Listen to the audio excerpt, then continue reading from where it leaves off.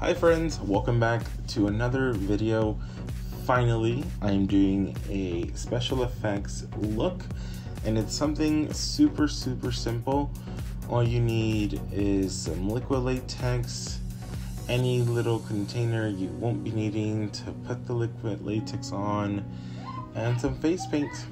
Oh, and also some time and patience so when it dries off, yeah, it doesn't dry off super super fast Excuse the loud noise in the back. Those are my little nephews getting ready to go to Target with my sister for a pickup. So obviously they get jealous of who's going and who's not going. But anyways, back to my video. Uh, right here, I'm just creating uh, the wound and how I wanted it to look. I wanted to do a big wound and some smaller ones so you can see the difference also. First thing I'm doing is layering the center a little bit more. And then after that, I just go back in and I add a thin coat of liquid latex on the sides and I also blend them in together. So you see that here. That way you you don't have like this thick chunk of liquid latex just sitting there and it's looking like it's actually part of your skin. and as you can tell, it's already um, diluting, which is getting, that means it's getting a little bit darker in color. You can tell the difference, which one's still wet and which one's drier. So when it dilutes, just remember it does dry off a little bit darker than the actual color.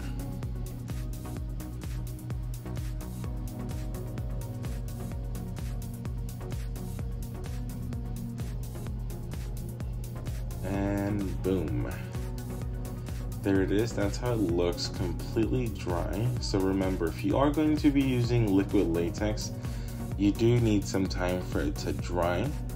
Uh, so start a little bit early. Now you can see the color difference there changed a lot.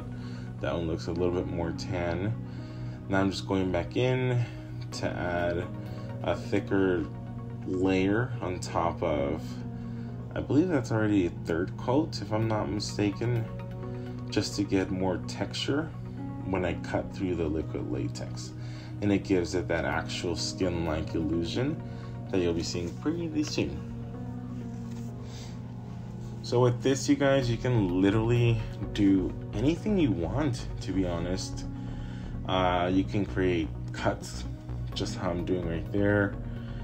Or you can just go in and do little holes if you want or I don't know you, you can do everything. So you don't have to do exactly what I'm doing. Uh, this is just what I decided to go with. So yeah. And right here I'm just making sure it gives it that skin like texture also so it blends in onto the skin a lot better. And it gives it those little fine lines and details, which really does help.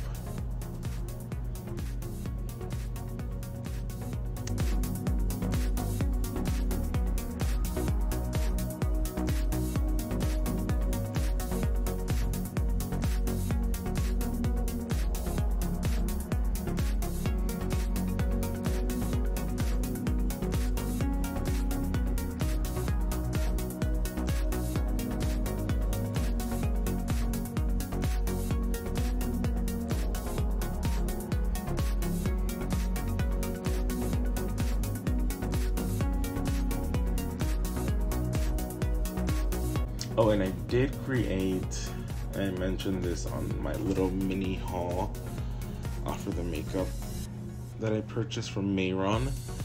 I do have a clown zombie look that I created a few years ago, and I used liquid latex, but I also used cotton to give it a different texture. And if you want to see how that looks, I will post that video down below. I'll put the link to it and at the end of this video so you can see it. So right here, I'm just using a little bit of my foundation.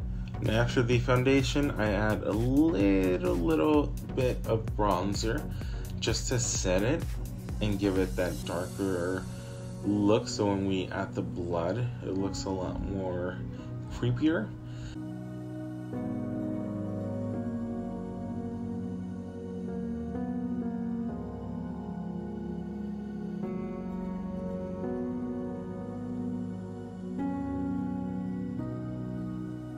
So right here I'm just pulling the liquid latex. Then I go back in with some scissors and I cut that off just to start giving it a different look.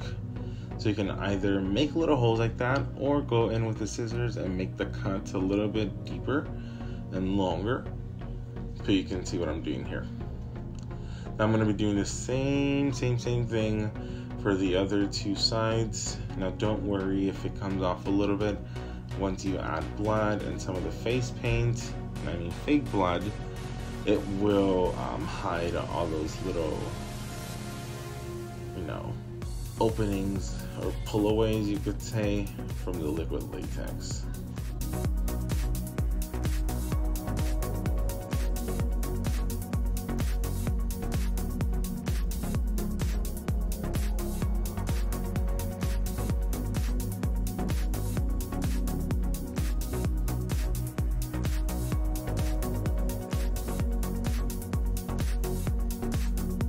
Now please you guys, if you do the same thing I'm doing here, just be extra extra careful when you're using scissors.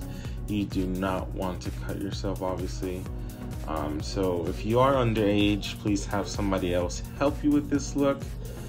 Um, if you are grown, you know what you're getting yourself into, so just be gentle. Take your time. Do not rush into this. Trust me, if you rush into it, it screws up more if you actually take your time to create the wound and the cuts, it does come off a lot better.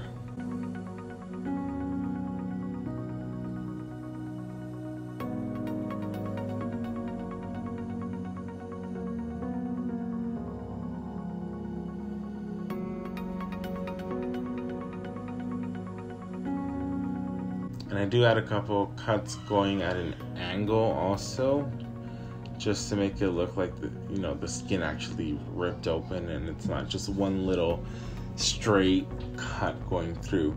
So then right here I'm going to use the Paradise makeup and I'm going to just spray the red the black and the brown with some setting spray because it is water activated. So I'm going to grab the red first and I'm going to fill in the entire openings that I have and then I'm gonna go back in with some brown and a hint of red to give it like that darker blood look. I don't even think I used the black for this. I don't even know why I sprayed that.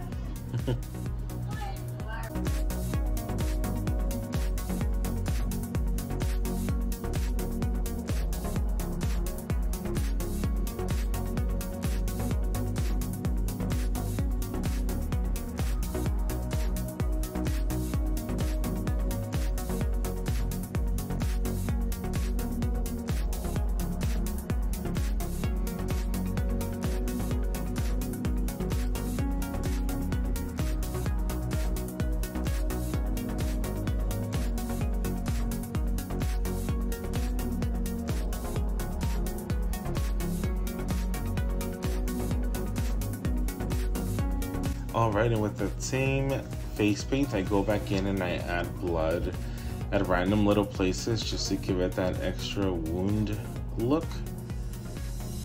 And when it dries off, it looks like legit blood, you guys. That's pretty awesome. This is why I love, love, love this palette. It literally works wonders.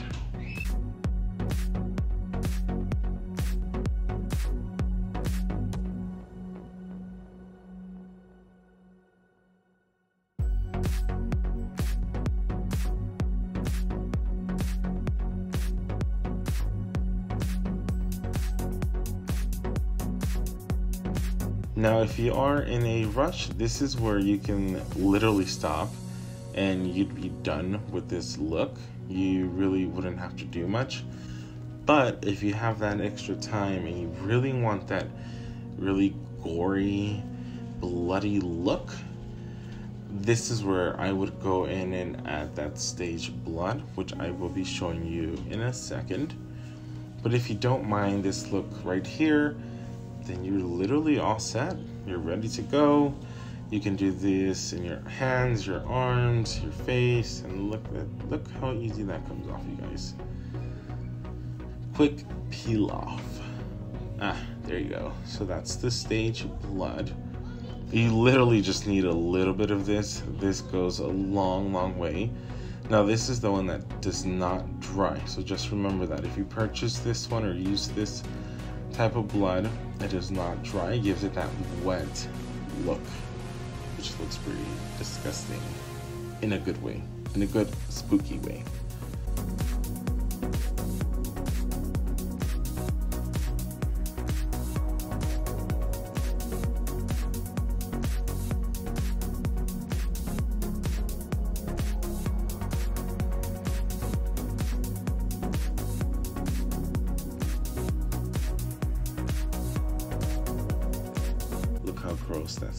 To look, you guys. Ew. Ew.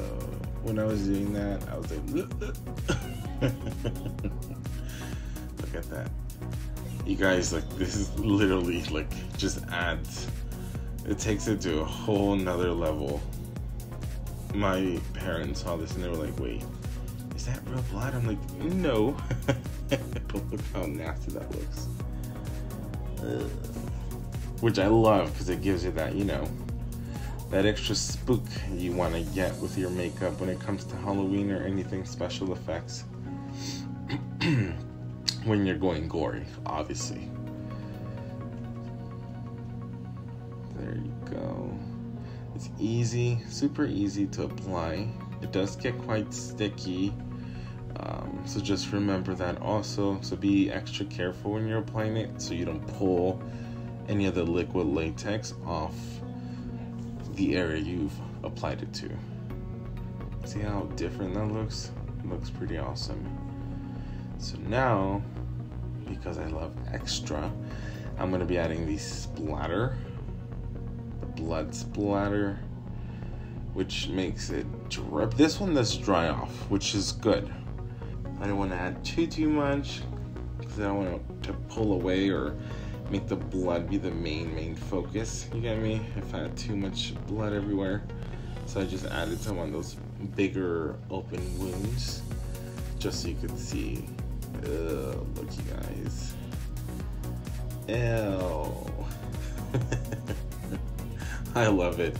I can't wait to create another video for you guys. This was super, super awesome. Thank you guys so much if you made it all the way to the very end. I appreciate that so much. Please share this video. If you recreate this, please tag me, show me. I'd love to see it. If you don't mind, if you're brand new, please subscribe for more of these videos. Hit the like button also. I'd really appreciate that so much. Thank you guys again. I hope you have an amazing day. Bye, guys.